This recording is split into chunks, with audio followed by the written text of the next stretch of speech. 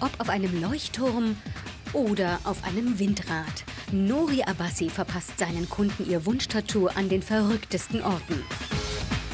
Jeder, der sich tätowieren lässt, möchte ja eigentlich etwas Besonderes haben. Etwas Einzigartiges. Etwas, was es noch nie gegeben hat.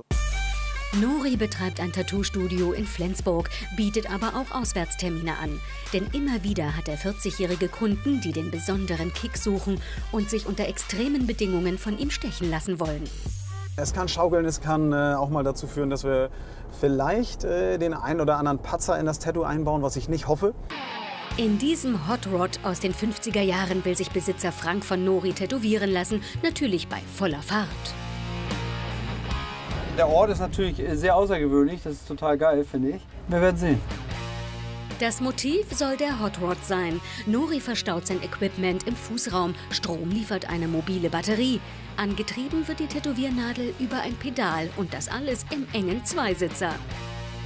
Also die erste Einschätzung vom Platz her ist, dass es mehr als sportlich wird. Ähm, es ist äh, hart an der Grenze zur, dass es überhaupt funktioniert. Seit sechs Monaten tätowiert Nori an ungewöhnlichen Orten. Angefangen hat alles mit einer Kundin, die er auf einem Leuchtturm tätowieren sollte. Die größte Herausforderung ist immer, die Nadel ruhig zu halten. Ja, ja. Los.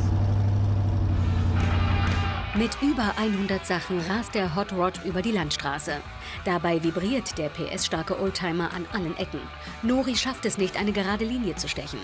Kunde Frank fährt zurück, damit Nori das Tattoo in Ruhe fertig machen kann. Am Anfang, als wir sehr langsam gefahren sind, war das eigentlich kein Problem. Ähm, aber es ist so, dass das Auto einfach so krass vibriert unterwegs. Also äh, das ist, als ob jemand die ganze Zeit am Stuhl wackelt. Da ist es dann tatsächlich grenzwertig. Unterwegs wäre es fürs Gesamtergebnis nicht so zuträglich gewesen, wenn wir da weitergemacht hätten.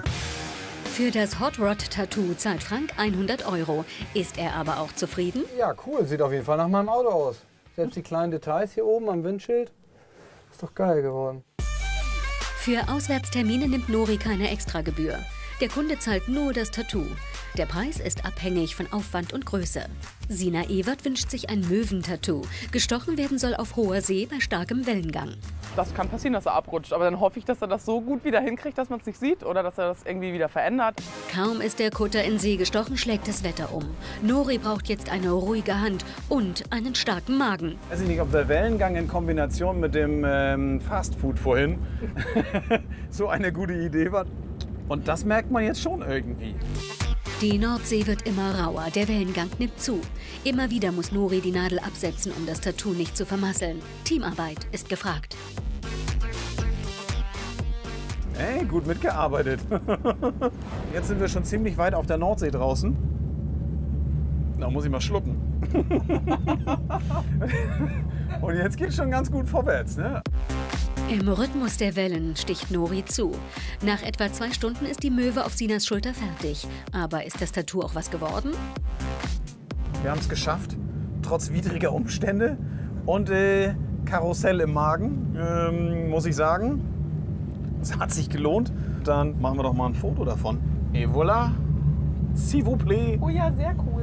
Wenn ich mir das angucke, muss ich wahrscheinlich immer dran denken, wie wir beiden hier mit flauen Magen saßen und gehofft haben, dass es alles gut geht. Also allein dafür hat es schon gelohnt. Für ihre Möwe zahlt Sina 100 Euro. Den Auftrag Tattoo auf einem Fischkutter hat Nori trotz Schaukelpartie erfolgreich beendet.